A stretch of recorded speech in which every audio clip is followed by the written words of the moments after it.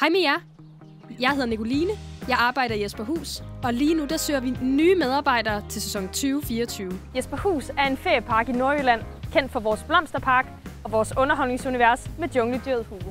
Som medarbejder i Jesper Hus er du med til at give børnefamilier en helt unik oplevelse hver dag, uanset hvilken afdeling du arbejder i. Måske er du den første familierne møder i receptionen. Den, der skaber tryghed og overskud som livredder i badeland, eller den, der serverer mad for familierne fra en af vores mange spisesteder. Du kan også styre karusellerne i Lejland. Synge og danse i en af vores mange shows. Eller måske er det dig, der giver børnene et evigt minde med hjem fra en af vores souvenirbutikker eller købmand. Hvad end du laver her i Jesper Hus, så bliver du en del af vores fællesskab. Vi arrangerer personalefest og fællesture hvert år, så der er rig mulighed for at få nye venner, mens du har et fedt sommerferiejob. Uanset om du har arbejdet mange steder før, eller om det her det er dit første rigtige job, så står vi klar med oplæring, hjælp og masser af vejledning. Så kom og bliv en del af vores univers her i Jesperhus. Du kan søge ved at trykke på linket under videoen og udfylde formularen. Og du kan søge lige så mange afdelinger, som du har lyst til.